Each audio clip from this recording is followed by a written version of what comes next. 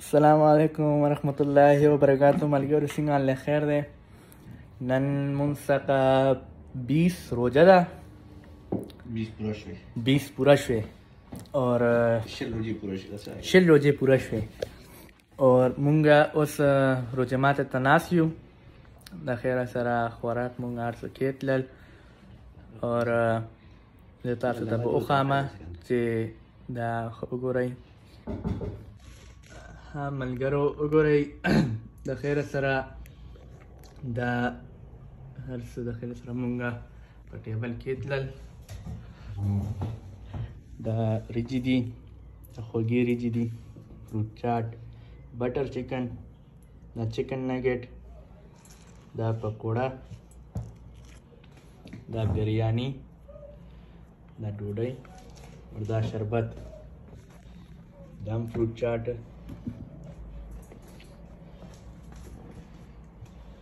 دا وګورئ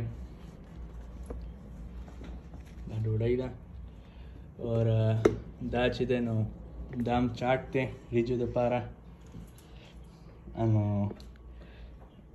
ملګرو نن دا هر څه مونږ دغه کړ ما ویلې چې تاسو سره دا شیر کوم نو ملګرو د خیره سره هر څه په ټیبل باندې مونږ کېتلل روزي ماته ته درې منټه پاتې دي بس موږ به د خیره سره اوس بیا روژه ماتی وکړو بس زه صحیح د ملګرو موږ به سره تاسو سره شیر کړو انو ټول ته زما طرف نه الله حافظ رمضان مبارک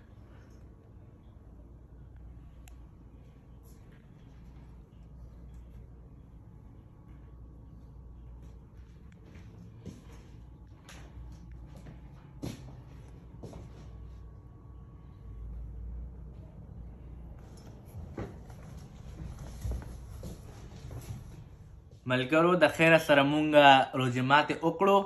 روزه مو ماته کړه نن مونږ څخه 20 روزه تیر شو د خیره سره لس روزه پاتې شوې ان شاء الله بیا به اختري ملګرو د خیره سره مونږ ماشاءالله ډیر خشته خشته خوراک وخوړو زما امی تیار کړی مونږ لپاره ما لا ور زما ابوله مونږ بټر چکن خشته وخوړو بریانی پکوړې چکن ناګټ د خیره سره ملګرو مونږ خشته وخوړل اور ملګرو کو تاسو زمونږ چینل ته نوی یای نو پلیز سبسکرایب سبسکرایب ټو مای چینل لایک ان کامنټ تاسو چې مونږ له سبسکرایب راکړئ نو مونږ به خشته خشته لوی ویډیوګانې جوړو او مونږ ته پته لګي چې زمونږ چینل کې ممبر سم دي او سم بنیان ګوري نو مونږ به دمه خشته ویډیوګانې جوړو